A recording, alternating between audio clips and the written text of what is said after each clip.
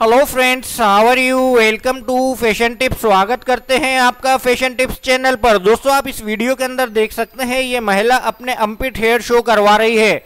ये कोई चाइनीज़ महिला लगती है और अपने अम्पिट हेयर बिल्कुल आसानी से डिस्प्ले करवा रही है और आनंद ले रही है। इसके बिल्कुल लाइट हेयर हैं, जो कि इसके अम्प के ऊपर मौजूद हैं और इसने अपने दोनों बाजुओं को ऊपर उठाकर अपने सर के ऊपर रख दिया और आहिस्ता आहिस्ता ये डांस कर रही है। और आनंद ले रही है। आप इस वीडियो में देख सकते हैं, मुख्तलिफ़ महिलाएँ अपने अम्पिट हेयर शो करवा रही हैं और बहुत खूबसूरती से अपने अम्पिट हेयर डिस्प्ले करवा रही हैं और आनंद ले रही हैं, क्योंकि महिलाओं के अंदर अम्पिट हेयर का काफ़ी रुझान है।